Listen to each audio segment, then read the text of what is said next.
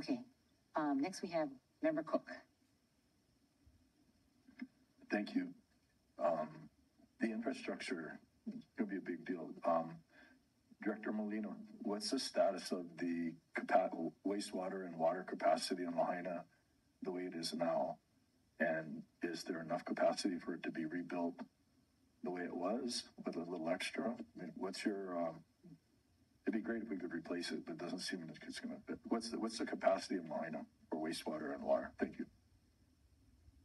Um, with all due respect, Member Cook, um, I think that's outside the scope of this meeting, and that is uh, worth an entire meeting in itself to have that conversation, because it is a moving target at this point in time. Okay, I, respect that there's no answer, but that's gonna be critical of us being able to calendar, it out.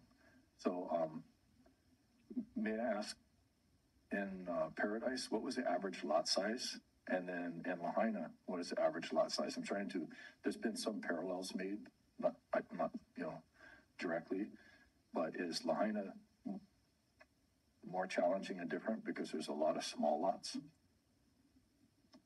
Yeah, that's an excellent question, Councilmember. I don't know statistically the similarity. You know, anecdotally, having driven through both communities, I do think the lots in Lahaina appear smaller than the lots in Paradise were. Um, importantly, the Camp Fire affected Paradise and then three other unincorporated communities where the lots were much larger, um, just because there are more rural communities. So any averaging being done should probably look at that. Um, so that's the best I could probably provide at this stage. Okay, thank you.